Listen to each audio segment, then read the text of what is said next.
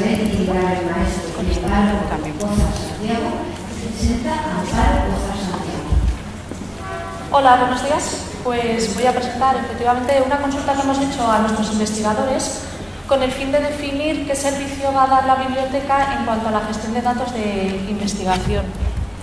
Durante el curso 21-22, en la biblioteca hemos visto aumentada la consulta que nos hacen los investigadores respecto a la preservación y difusión de los datos generados en su investigación. Eh, en agosto del 2022 hicimos una consulta a Serpa Yulet y vimos que ya son 54 agencias financiadoras las que requieren el depósito de, de los datos como requisito para financiar y 32 lo recomiendan. En el servicio de bibliotecas hasta el momento estábamos eh, pues asesorando a nuestros investigadores, recibiendo formación, leyendo literatura, pues un poco siguiendo las recomendaciones del IBER. Pero llegados a este punto hemos visto necesario ya definir qué servicio vamos a dar. Nos hemos planteado tres posibles soluciones. La primera es adaptar el repositorio institucional de publicaciones para albergar datasets. La segunda, crear un repositorio institucional específico de datos. Y la tercera posible solución, crear comunidades Universidad de Navarra en repositorios de datos temáticos ya consolidados y monitorizar los datasets depositados en estos repositorios de nuestros investigadores. Para ello lo que vamos a hacer es analizar cada una de estas posibles soluciones, viendo qué requisitos y qué, qué necesidades tienen para poder implementarlas y viendo qué ventajas y desventajas de cada una de las soluciones. Pero paralelo a ello hemos visto que sería muy interesante y necesario conocer exactamente qué están haciendo ahora mismo nuestros investigadores con sus datos. Si leemos la guía de implementación de, de un servicio de gestión de datos de investigación del, Data, eh, del Digital Collision Center, vemos que es necesario conocer el contexto institucional para definir exactamente qué servicio queremos proporcionar. Se decide trabajar a través de una encuesta basada en encuestas ya validadas, como son la de Pesetti González del 2017 y una de Alexandre Benavent del 2020. Hemos utilizado un formulario de Google por ser la herramienta que está instalada en la Universidad de Navarra. Hicimos un pretest con cuatro investigadores de cuatro áreas diferentes y luego nos apoyamos en el servicio de gestión de investigación de nuestra universidad para hacer la difusión de la encuesta.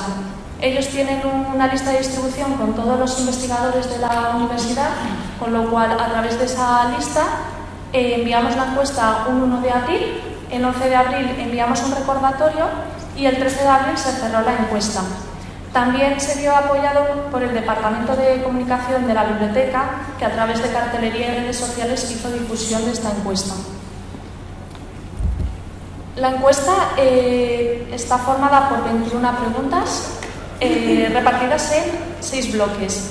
Los, tres primeros comunes, los dos primeros comunes a todos los investigadores, pero a partir del bloque 3 eh, dividíamos la encuesta. También tenían la posibilidad de dejar eh, su correo electrónico y algún comentario, porque era una encuesta anónima. La encuesta se envió a 1.231 investigadores, de los cuales nos contestaron 160, lo que supone el 13% de la población que está distribuida en 23 universidades e institutos. En las primeras preguntas queríamos conocer un poco el perfil de la persona que estaba contestando la encuesta y para ello le preguntábamos qué rol tenía en los proyectos en los que estaba investigando y de estos roles quién tenía la responsabilidad en los datos que se generaban.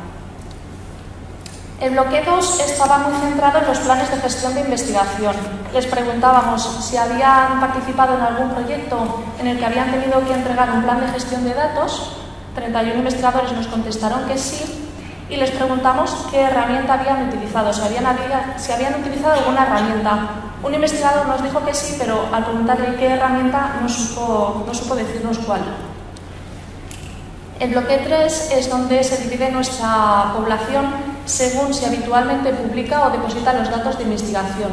Aquellos que sí que lo estaban haciendo, se les, se les preguntaba si lo estaban haciendo como un requisito y cómo los estaban haciendo públicos. Luego en el 4 nos centrábamos sobre el depósito en repositorios. Aquellas personas que estaban depositando los datos en algún repositorio, les decíamos que nos dijeran en cuál, para saber qué repositorios conocían, y luego les preguntábamos sobre buenas prácticas, pues si lo acompañaban de un TXT, si estaban utilizando formatos de archivos abiertos.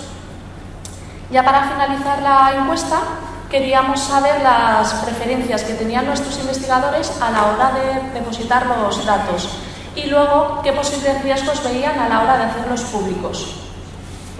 En cuanto a aquellos que nos dijeron que habitualmente no publicaban o no depositaban los datos, saltaban directamente a explicarnos los motivos por los que no lo estaban haciendo. Bueno, fruto de esta encuesta, lo que hemos hecho ha sido un informe que hemos pasado al Vicerrectorado de Investigación y Sostenibilidad de la Universidad para que conozca el panorama actual de los investigadores. Y como conclusiones, por resaltar que nuestros investigadores nos estaban pidiendo mucha formación en cuanto a planes de gestión de datos y en cuanto a la gestión de datos de, sus datos. Y luego que vimos que faltaban unas directrices a nivel institucional y que sí que están buscando un respaldo Universidad de Navarra. Muchas gracias.